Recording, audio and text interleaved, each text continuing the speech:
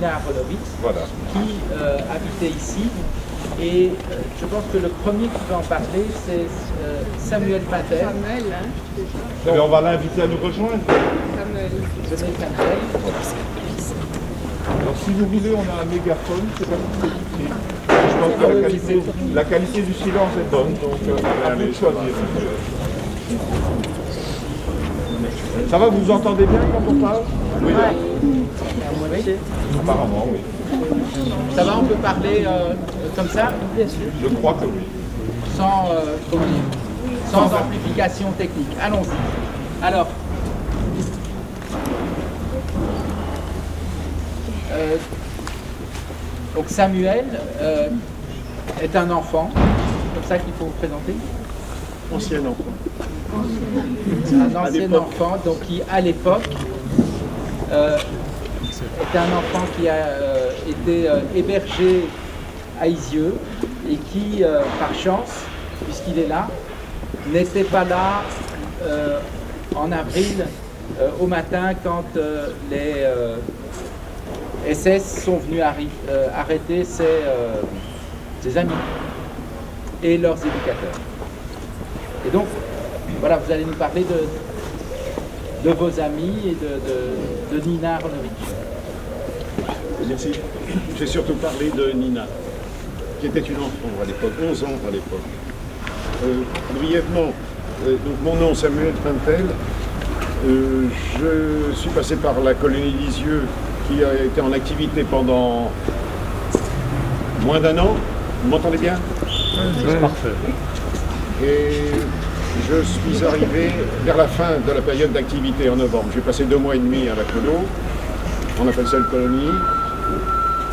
J'ai eu la chance de pouvoir être recueilli par une famille et d'en sortir avant la rafle. C'était fin janvier 1944, donc quelques semaines, si j'ose dire, deux mois avant la rafle. Un des, pratiquement un des derniers à avoir quitté la colonie Soufre. Donc, euh, ce qui m'a fait m'impliquer dans cette euh, mémoire, c'est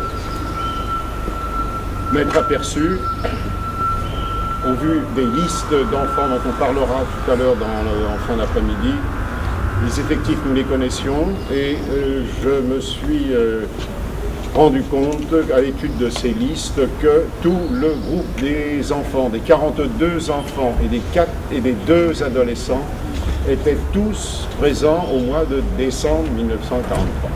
Et je les avais tous connus.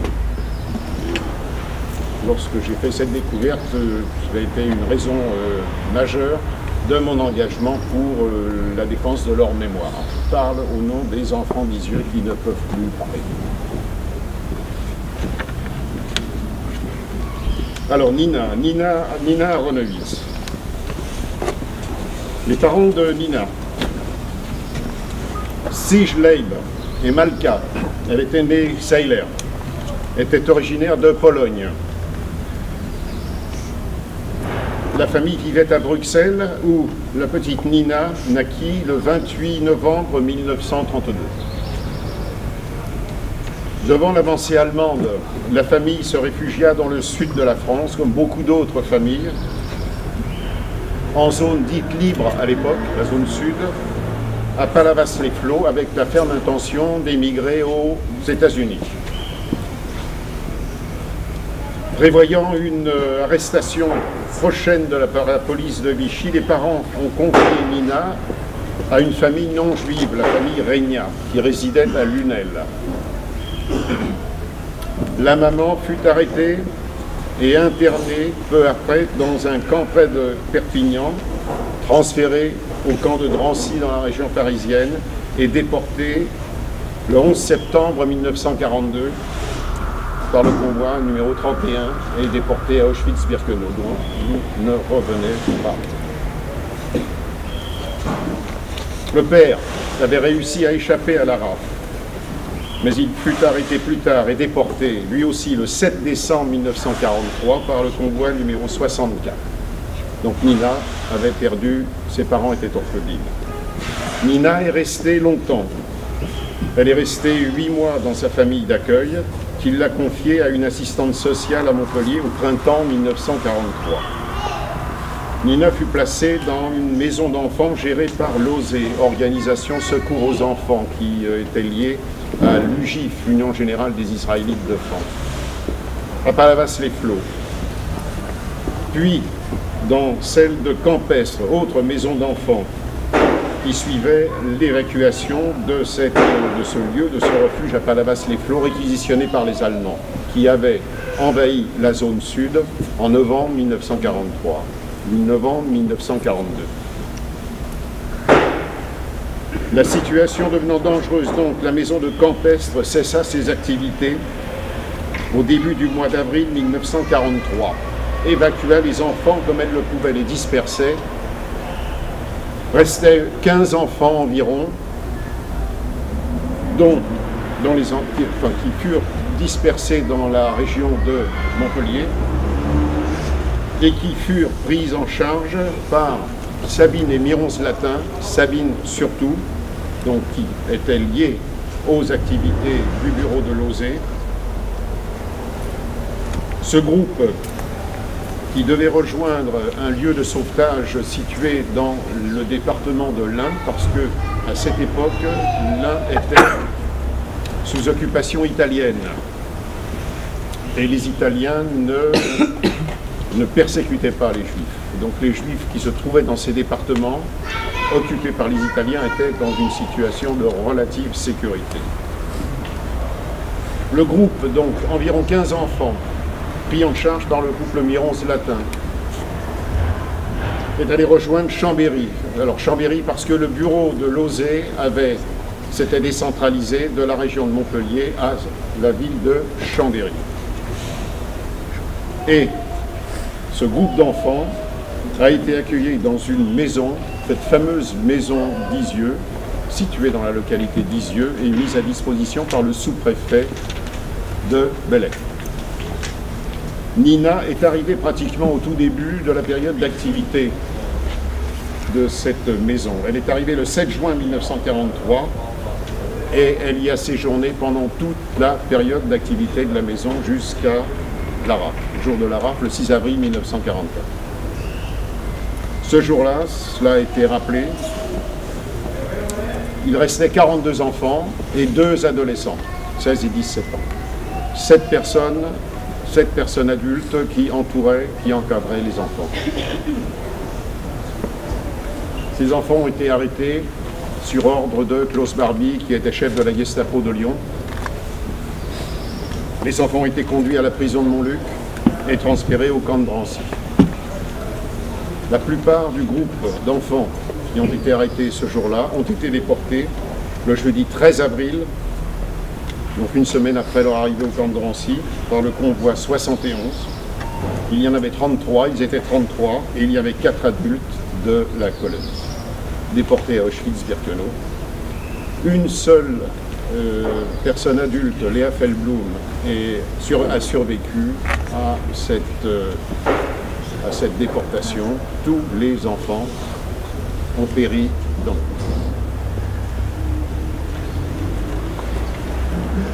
Merci monsieur pour ce témoignage.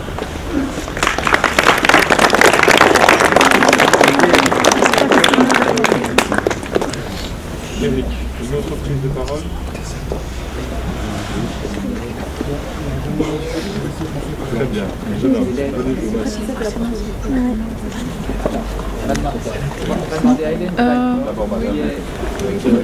la présidente d'honneur du, musée mémorial, puisque vous savez que la maison euh, a été transformée par euh, euh, le président de la République française, François Mitterrand, en mémorial officiel du martyr des enfants juifs.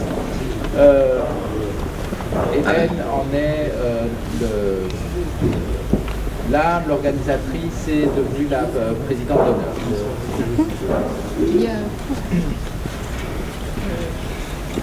A... Pour commencer, tant de choses à dire. D'abord, je suis heureuse de représenter la Maison d'Isieux avec Samuel Tintel et Bertrand Vert, que je cherche, hein, qui a beaucoup œuvré pour cette réunion. Bon, je voudrais un peu plus fort. Mais alors on va prendre peut-être l'appareil, Eric, Non, mais je peux, Tu le prépares. je peux parler plus fort. hein. Mais oui. Je peux parler plus fort si vous m'entendez, mais il faut que je garde la voix pour deux interventions aujourd'hui. hein. Donc, euh, ne dilapidons pas les énergies. Donc d'abord, rapidement, euh, des euh, remerciements à Madame le consul général de France qui œuvre tellement euh, pour ce- cette mémoire des enfants et qui nous accompagne tout au cours de la journée. Parole Oh, ouh là là. Bon, mes remerciements aux- bien sûr aux édiles, hein, vous connaissez le mot édile, je l'aime bien, aux édiles municipaux dont nous avons entendu les magnifiques paroles et qui font aussi beaucoup. Euh, merci aux associations, à l'association en particulier euh, pour la mémoire de la Shoah. Merci aux parlementaires, Monsieur Philippe Cordery, aussi très impliqué euh, dans cette cause. J'espère n'oublier personne. Si je le fais, vous m'excuserez. Ce qui, finalement, je n'avais pas du tout pensé à ça. Hein. Je suis moi aussi, quelques mots sur moi tout de même. Je suis Hélène Westbord. Bon, j'ai été complètement liée à la, conception, la mise en place de la maison d'Igieux, puis ensuite son évolution. hein, et je viens d'en quitter la présidence. Donc, euh, un- une partie de ma vie entre 1990, suite au procès Barbie, qui a lieu en 1987, jusqu'à maintenant. hein. Ça fait beaucoup. Ça, fait, ça compte d'autant plus que j'ai été moi aussi une enfant cachée. Avant l'âge de 6 ans, j'ai eu la chance d'être à l'école maternelle quand la Gestapo, dans la banlieue parisienne, est venue arrêter mes parents. J'ai été cachée dans une famille, non pas dans une institution. Donc vous voyez combien la mémoire à double titre, hein, comme euh, devoir collectif et nécessité personnelle, est une chose forte pour moi. J'en parlerai. Alors ce qui me paraît magnifique ici, c'est ce rassemblement de classes, de jeunes, hein, auxquels je m'adresse. Vous êtes mon milieu. Hein, Moi, dès que je vois une classe, je me retrouve dans mon métier de professeur, d'enseignante, très, très à l'aise. hein. J'aime les établissements scolaires. Ben, Je m'y retrouve bien. Alors, nous sommes là, dans une rue, au grand air, et je sais que quand on parle, les paroles, elles retombent ou elles retombent pas hein, dans la profondeur de ceux qui écoutent. Alors ici, j'espère que dans cette dispersée par cet air magnifique aujourd'hui, il y a quelques paroles qui vont retomber ici et là hein, pour alimenter la réflexion de quelques-uns d'entre vous. C'est vous aujourd'hui votre responsabilité. Tout à l'heure, euh, Monsieur Eric a parlé de la différence entre culpabilité et responsabilité. Vous, vous avez de la chance, aucune culpabilité, mais une responsabilité. hein, nous vous passons le flambeau. Les petits pavés. Faites-moi voir ce beau petit pavé qui brille sur le trottoir. Une œuvre d'art. C'est important, moi je crois beaucoup à l'art comme transmission. Alors, il y a ce pavé qui est très bien fait, qui brille. L'opération a commencé, si je ne m'abuse, en Allemagne. L'artiste est allemand. Et euh, cette euh, pose de pavé est maintenant euh, soutenue avec un grand dynamisme ici en Belgique par l'Association pour la mémoire de la Shoah. Ça, c'est très bien. C'est très bien parce que avec l'éloignement dans le temps, le monde de 1940-44, qu'est-ce que ça veut dire pour nous Aujourd'hui, on est lié à l'Allemagne, euh, c'est complètement autre chose. Donc, quand le temps s'éloigne, c'est l'espace qui est important parce que c'est là que s'inscrit l'histoire. Vraiment, là-dessus, il faut préserver les lieux. Il faut faire des signes distinctifs, là où se sont passées des choses. Il faut maintenir des lieux, hein, que ce soit des lieux de salut ou que ce soit des lieux euh, de, de massacre. Alors, ces petits pavés, on a d'abord fait beaucoup en France des plaques à l'entrée des écoles avec le nom des enfants juifs raflés, très nombreux dans certains arrondissements de Paris et dans beaucoup de lieux de France. Les petits pavés, c'est autre chose. On n'a pas une démarche à faire.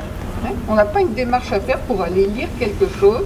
On marche sur le trottoir et tout d'un coup, soit par le regard, soit par le pied, le pas, on bute sur quelque chose.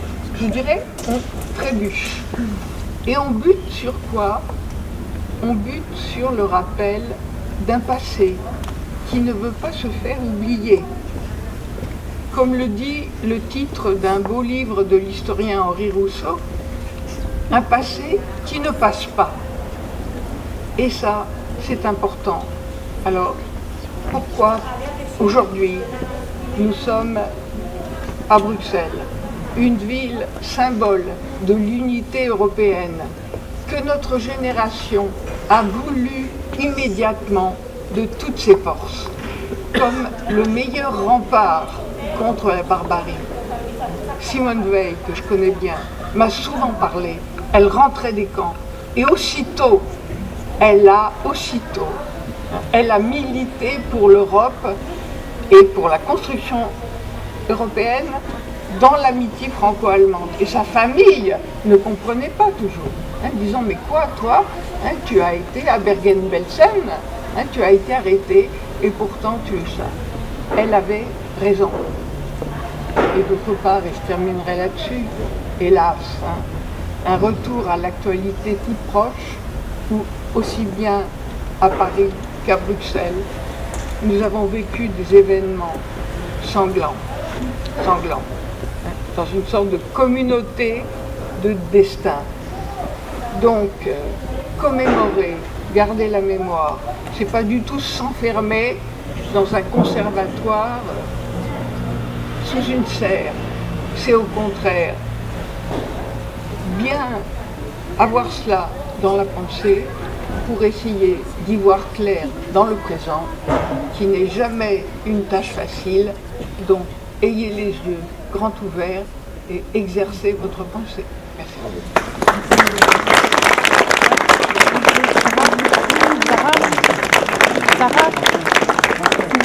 Voilà. On va maintenant passer la parole à François.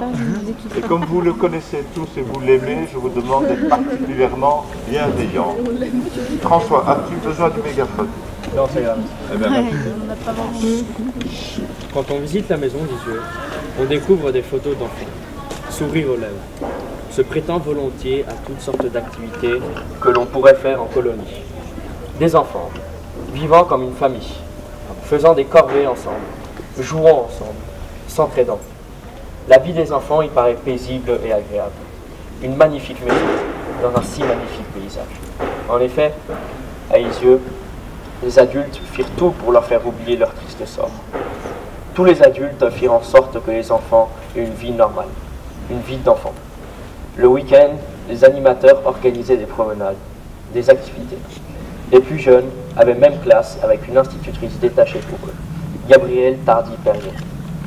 Mais de ce vrai bonheur, il n'en était rien. La réalité rattrapait vite les enfants. Le soir, ils pleuraient l'absence, le manque des parents. Les enfants n'étaient pas en colonie de vacances. Ils risquaient à tout moment de se faire arrêter. Certes, ils avaient de quoi se nourrir et n'étaient pas livrés à eux-mêmes. Mais une chose leur manquait terriblement, leur véritable famille. Les enfants ne montraient pas leur tristesse devant tout le monde. Mais le soir, dans leur lit, ils pleuraient en pensant à leur famille. Leur sentiment de solitude éclatait. Aussi, ils dessinaient et écrivaient beaucoup de lettres à leurs parents, où ils exprimaient avant tout leur tristesse et leurs angoisses, mais aussi leurs espoirs. Hélas, le 6 avril 1944, la tragédie se produisit. La Gestapo, emmenée par Klaus Barbie, arrêta les 44 enfants et les 7 adultes qui les encadraient. Citons Léon Reichmann, rescapé et témoin de la rafle.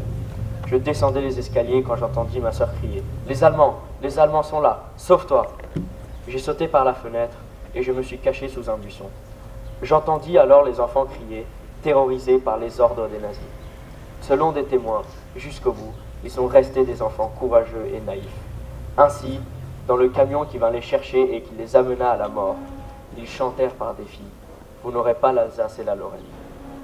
Ces camions les menèrent à la prison de Montluc à Lyon, où, depuis, les enfants furent expédiés au camp de Drancy pour être déportés par les convois 71, 75, 76 en avril, mai et juin 1944.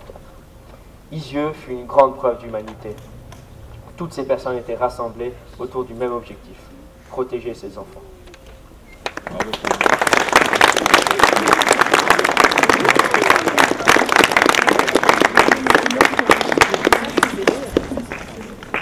Maintenant, nous allons écouter Lisa.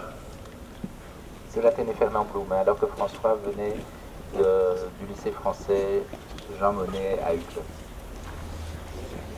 Bonjour à tous. Nous nous rappelons de la vie de Nina Aramovic. C'est pour cela que quelques élèves et moi-même avons décidé d'écrire ce texte. Aujourd'hui, nous plaçons donc un pavé de la mémoire pour Nina. Je trouve que ce geste symbolique est une excellente initiative pour se souvenir de la douleur et de la souffrance que beaucoup de juifs et tziganes ont dû subir pendant si longues et rudes années. Pour ne jamais oublier la souffrance de ces millions de personnes qui, comme vous et moi, étaient de simples, étaient de simples citoyens, il faut participer à des, à des événements comme celui-ci pour pouvoir en parler à nos enfants, petits-enfants, et ne jamais oublier tous ces disparus. Voilà notre rôle en tant que jeunes adultes. Je crois que nos professeurs se sont surpassés en ce qui concerne les visites et les cours consacrés à la Shoah. Et oui, nous avons été visiter le musée de la caserne de sang. Ce musée a servi à enrichir notre culture, mais aussi à enrichir et à ouvrir nos yeux. En effet, nous avons pu observer de nombreux objets qui faisaient partie du quotidien des personnes emprisonnées. Ensuite, nous avons visité le fort de Brennus. Cette visite nous a donné des frissons et nous avons ressenti beaucoup d'émotions en passant dans les chambres la salle de torture, ou encore en entendant les histoires de certaines personnes détenues au fort. Je pense que ce que les Allemands ont fait à ces gens, et de plus pour des raisons non valables, est horrible. Torturer, frapper et tuer des personnes à cause de leur religion et de leur apparence physique est un acte impardonnable et inhumain. Le peu de personnes vivant actuellement et ayant subi ces atrocités peut encore témoigner des choses horribles qu'ils faisaient. La plupart des gens qui ont vécu cette guerre sont morts de faim, de maltraitance, parce qu'ils faisaient de la résistance ou parce qu'ils étaient juifs ou tziganes. Ensuite, même entre, juifs et tziganes, ils faisaient un tri. Ils séparaient les hommes des femmes et des enfants. Vous étiez un homme en bonne santé, vous alliez travailler dans un camp. Vous étiez un enfant ou une femme, vous étiez gazé après le débarquement de votre convoi. En effet, les hommes, les femmes et les enfants étaient transportés par centaines dans des wagons à bestiaux. Les convois s'arrêtaient aussi à la caserne de sang, où les personnes n'étaient pas mieux traitées. Aujourd'hui, ces camps et casernes, qui ont été le lieu de ces atrocités, sont devenus des musées. Ces lieux qui ont été érigés en honneur de la mémoire des victimes de la Seconde Guerre mondiale ne doivent pas être oubliés. C'est pour cela que le devoir de mémoire existe.